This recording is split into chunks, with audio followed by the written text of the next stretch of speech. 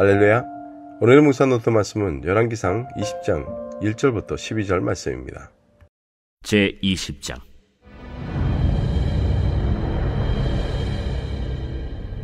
아람의 벤 하닷 왕이 그의 군대를 다 모으니 왕 32명이 그와 함께 있고 또 말과 병거들이 있더라. 이에 올라가서 사마리아를 에워싸고 그곳을 치며 사자들을 성 안에 있는 이스라엘의 아합 왕에게 보내 이르기를 베나다시 그에게 이르되 내 은금은 내 것이요 내 아내들과 내 자녀들의 아름다운 자도 내 것이니라.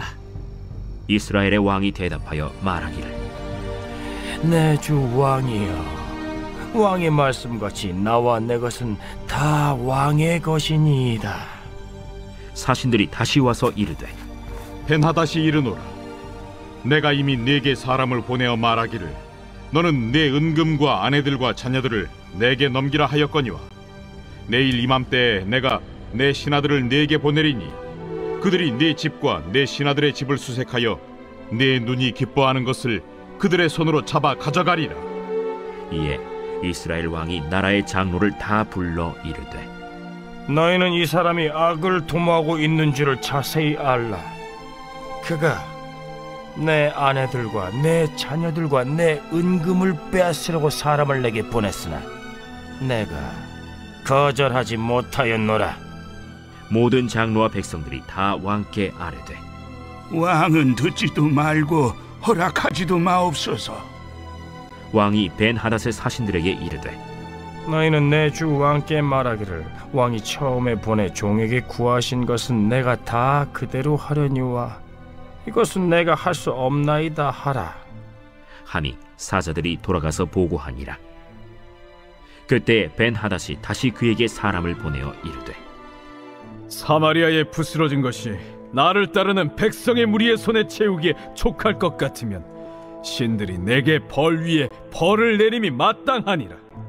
함에 이스라엘 왕이 대답하여 이르되 갑옷 입는 자가 갑옷 벗는 자 같이 자랑하지 못할 것이라 하라 하니라 그때 벤 하닷이 왕들과 장막에서 마시다가 이 말을 듣고 그의 신하들에게 이르되 너희는 진영을 치라 함에 곧 성읍을 향하여 진영을 치니 아방은 이스라엘 역사상 논란의 대장 중의 하나입니다. 그의 이름만으로도 여러 가지 감정과 생각이 영상될 정도입니다. 오늘은 이 아방의 삶 중 특별한 순간 열왕기상 20장에 다루고 있는 위기의 사항에 주목하려고 합니다. 아방의 이야기는 단순히 고대 역사 이상의 의미를 지니고 있습니다. 그의 삶에서 우리는 무력함에 대한 극도한 현실적인 예를 찾을 수 있습니다. 이는 오늘날 우리가 직면할 수 있는 다양한 위기사항과 또 상당히 유사합니다.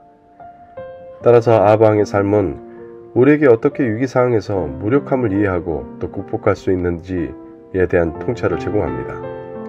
그렇게 본문을 통해 아방이 어떻게 무력한 상황에 처했는지 그리고 그가 어떤 선택을 했는지를 살펴보겠습니다. 그 과정에서 성경이 우리에게 제시하는 해결책과 또 원칙을 함께 고민해 보고자 합니다. 먼저 1절을 보면 아람왕 베나닷은 이스라엘 침공하려고 큰 군대를 준비하는 것을 보게 됩니다. 아방은 이에 대해 강력한 대응을 할 수 없었습니다. 이것은 명백한 힘의 불균형, 즉 불균형의 싸움을 보여주고 있는 것입니다. 베나닷은 아합에게 자신의 아내와 자식들 그리고 금과 은을 넘겨달라고 요구합니다. 이것은 자신이 유리한 입장에서 더욱 강력한 압박을 가하는 것입니다. 아방은 이에 일단 응하려고 하지만 베나닷의 요구는 더욱 심해지자 거절하게 됩니다.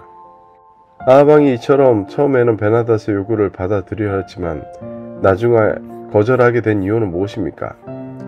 아합은 자신의 무력함을 인지하고 있었지만 그럼에도 불구하고 일정 선을 넘지 않기로 결정합니다. 이는 무력함 속에서도 어느 정도 자존과 주권을 유지하려는 그의 노력입니다. 이 상황에서 아방은 이스라엘의 주권을 지키기 위해 최선을 다합니다.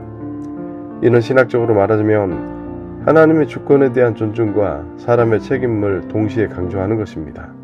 아합이 비록 무력함을 느끼는 순간이지만 그는 자신이 하나님 앞에서 어떤 책임을 지고 있는지 잊지 않았습니다. 무력함은 상대적인 것입니다. 아합이 무력하다고 느꼈지만 그래도 자신의 유치와 책임에 따라 할 수 있는 일이 있습니다. 주권과 책임은 병행해야 합니다.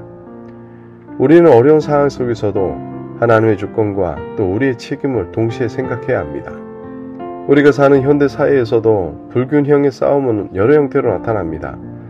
이것은 직장에서 부당한 대우, 또 사회적인 불평등, 또한 개인적인 관계에서 갈등 등 다양한 상황에서 볼 수 있습니다. 현대인들이 무력함을 느낄 때 그들은 종종 사항을 그대로 받아들이거나 회피하는 경향이 있습니다. 하지만 아하방의 사례에서 볼 수 있듯이 아무리 어렵더라도 일정성을 지키려는 결단이 필요합니다. 그렇습니다. 아방을 통해 우리가 알 수 있듯이 하나님의 주권과 인간의 책임은 병행되어야 합니다. 우리 역시 이 두 가지 원칙을 잊지 말고 적용해야 합니다. 우리가 하나님의 주권을 믿는다면 그 안에서 우리의 책임을 다하는 것은 무엇보다 중요합니다. 본문의 아하방은 자신의 상황을 정확하게 파악했습니다. 우리도 우리의 능력과 한계를 알아야 합니다. 뿐만 아니라 하나님의 주권을 믿으면서도 우리가 취해야 할 행동이 무엇인지 고민해야 합니다. 아방이 주변 사람들과 협의했듯이 우리도 문제 해결을 위해 공동체의 지원을 청해야 합니다. 기억하십시오. 이처럼 불균형의 싸움을 마주할 때 그것을 회피하기보다 하나님의 주권과 우리의 책임 사이에서 어떻게 행동할지를 고민해야 합니다. 우리 역시 우리 인생에도 여러 번 불균형의 싸움을 겪게 될 것입니다. 이런 상황에서 가장 중요한 것은 하나님의 주권을 믿고 그 안에서 우리가 취해야 될 책임을 찾아 행동하는 것입니다. 아방처럼 때로는 승리가 불가능해 보일지라도 하나님의 주권 안에 어떤 결단을 내려야 됩니다. 불균형의 싸움은 분명히 어렵고 힘듭니다. 그러나 동시에 성장과 변화의 기회가 될 수도 있습니다. 그렇게 우리가 어려움을 마주할 때 그것을 도전으로 받아들이고 하나님과 함께 극복한다면 우리는 믿음의 사람으로 거듭나게 될 줄로 믿습니다. 그렇게 어려운 상황에 처할 때 먼저 하나님께 기도하며 지혜와 용기를 구하십시오. 주변에 신뢰할 수 있는 사람에게 조언을 구하고 또 그것을 고려하여 행동 계획을 세우십시오. 뿐만 아니라 계획을 세운 뒤에 실천을 통해 믿음으로 순종하십시오. 기도와 계획만으로는 충분하지 않습니다. 순종을 통해 일은 이루어집니다. 뿐만 아니라 잊지 말아야 할 사실은 불균형의 싸움에서도 하나님은 우리와 함께 계시다는 것입니다. 아무리 힘들어도 그것을 통해 하나님의 더 깊은 관계와 또 인생에 대한 더 나은 이해를 얻을 수 있습니다. 그러므로 우리는 무엇보다 하나님을 믿고 또 그 믿음으로 행동하며 나아가야 합니다. 오늘 하루 이러한 은혜가 우리 삶 가운데 넘쳐나길 주님의 이름으로 축원합니다. 함께 기도하시겠습니다. 은혜로신 아버지 하나님 오늘 말씀을 통해 주신 지혜와 또 깨달음에 감사합니다. 불균형의 싸움이라는 현실 속에서도 하나님의 주권과 또 사랑을 경험할 수 있도록 인도하여 주시옵소서. 어려운 상황과 도전, 가난 속에서도 하나님을 믿고 의지할 수 있도록 우리에게 은혜를 더하여 주시고 주님의 계획과 뜻이 무엇인지 알고 또 그것을 따라 믿음으로 살아가는 용기도 허락하여 주시옵소서. 말씀을 듣고 이해할 뿐 아니라 그것을 실천으로 옮긴 은혜도 주시고 감당할 수 없는 불균형한 싸움에 있을지라도 그를 통해 예수 그리스도의 사랑과 또 은혜를 경험할 수 있는 복의 기회로 삼게 하여 주시옵소서. 감사드리며 예수님의 이름으로 기도합니다. 아멘.